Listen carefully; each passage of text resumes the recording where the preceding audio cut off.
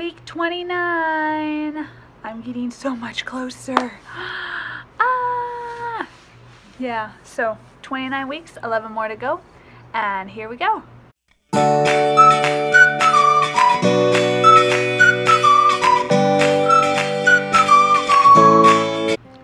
So this has been a very, very crazy week, um, aside from the fact that, you know, he's growing but uh, I also got to find out that he was still a boy. And I've been to the ER now almost twice. I almost went again. Um, and then I've got all those other issues. I had a biopsy and yeah it's been a crazy week. But other than that everything's healthy. I'm healthy he's healthy and we're just keeping it going. this week, Baby Wheels, also known as Kale, um, is the size of an England cotton-tailed rabbit. A little England cotton-tailed rabbit. Yeah. So that puts him at about 16 inches tall, I guess, and around 3 pounds now. And I don't know. I feel you know, he feels just as heavy this week as he did last week, so he doesn't feel too much heavier to me. Yeah, he's getting so big that um, I literally can feel his little body parts in my belly now, especially when they're sticking out. I can tell where he is. Now, granted, I don't know what body part it is, but um, I can definitely feel it now, which is really fun. I've liked that. I like to be able to feel body parts and guess what they are. I guess it's his knee I, I swear it felt like either a knee or an elbow once, but or it could have been a foot. Who knows? he likes to keep his hands by his face. So um, I don't know if I'll ever get to feel those depending on where his head is. If he's already head down, then I will probably never feel his hands except for down there. So it's probably his knees or his elbows. Here's a good one for you. So my app says you might be feeling more constipation um, as as he gets bigger. And let me tell you I have not had an issue with that. I have not had an issue with that with Valeska. I have not had an issue with that with uh, if anything being pregnant has regulated me to the point where I mean people always are for instance when I went in for my pains um, they were just making sure it wasn't gas. And I'm like it's not gas because my I, I go every day. I don't have an issue with constipation at all. It also says that Kale's muscles and lungs are continuing to develop and as well as his fat. So I need to eat a lot of stuff that will help with those, which shouldn't be too hard seeing as I like to eat all the time. I don't have those issues like I did first trimester anymore where I would go weeks where I just didn't want to eat anything. Uh, no, not anymore. I eat all the time. I like have to snack every two hours. Yeah, it's crazy.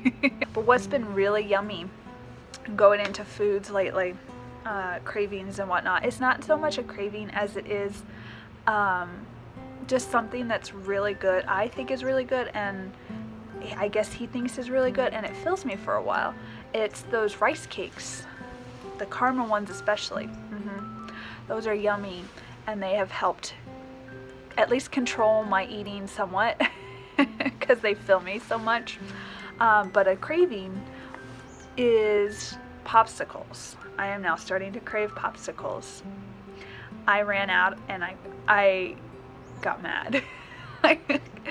when I ran out. Because because my husband left the um, empty box and he swears up and down it wasn't him but I didn't grab any. Then again it could be my pregnancy brain who knows? Um, that the the box was empty in the fridge and I got really upset because I was really wanting a popsicle. So I went out and got myself two boxes this time. Um, as for me I have not weighed myself here at home.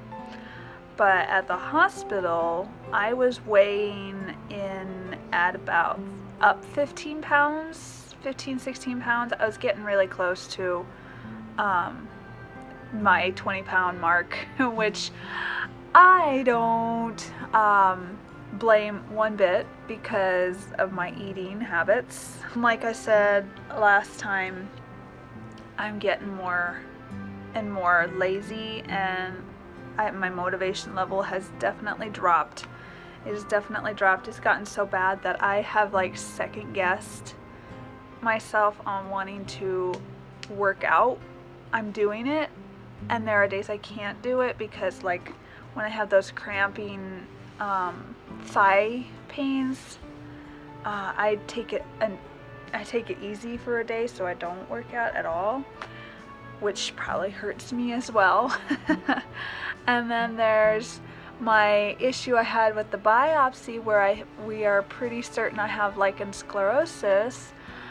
Yay. Um, which came out of nowhere. It came out of nowhere. I don't know why I'm having so many medical issues this pregnancy, but uh, so we think it's that, and I had a biopsy, and ever since that biopsy, it's been really, really bad.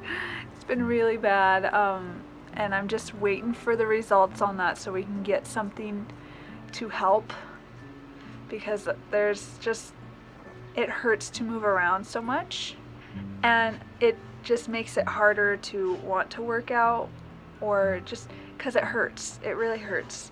And those of you who know what lichen sclerosis is can understand. Um, so yeah, I I'm having it pretty bad. so my motivation level for my working out has gotten lower, but I am still doing it. I am still doing it. Thank you. Sleeping wise, I am tossing and turning more. I keep waking up. I keep waking myself up by doing so. I toss and turn a lot more just to try to get comfortable and it's been really hard also um, which is probably why I wake myself up because my husband, poor Greg, he broke his hand. so, and it happens to be his right hand which happens to be the side that I sleep on.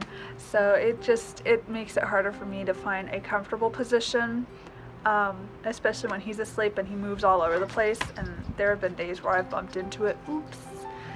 But yeah, so I'm constantly tossing and turning, getting that comfortable position that has been proven to be a bit harder now, especially when, you know, you got a belly a belly with a baby that is like, you know, 16 inches long. and I don't know, I'm starting to get that turtle feeling. Has anybody felt that? Where um, when you wake up and you try to sit up and you can't do it and you try and roll over and you can't do it because it's so hard. Yeah, I'm getting that too. I'm just getting so big. And I can, I can feel him right now, right here. so all in all, he's a happy baby. He's a very happy baby. The times that I've gone to the ER and gotten hooked up to just monitor the heart rate and the movements he was doing, I always get told that he moves quite often. And I was like yeah especially around 10 11 o'clock at night he has a full-blown spaz party in my belly. Um, so he moves all the time. And I've noticed recently that uh, he he moves every time they try to do a fetal Doppler to get the heart he'll move for that. And he won't it, it takes them forever to find his heartbeat because he keeps moving. Uh, so I got a happy boy in there 11 more weeks to go. And that is my update for me anyways this time around. And we'll see our belly now. There's the baby. Getting so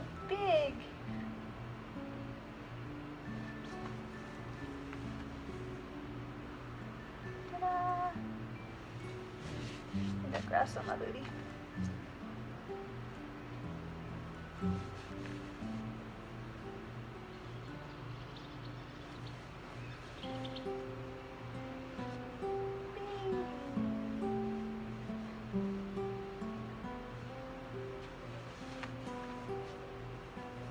Alright, so that's all I've got now. And we will see you next week for 30 weeks.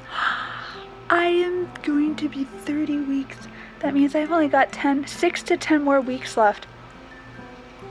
6 to 10 depending on when he wants to come. Oh my gosh.